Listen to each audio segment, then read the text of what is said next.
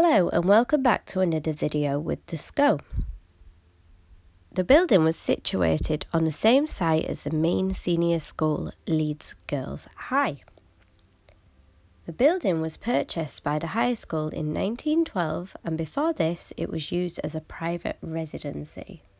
Built of stone, the building was constructed in a Georgian design and the school took infants between the ages of 3 and 7. The staircase and entrance hall is thought to have been designed by John Clark.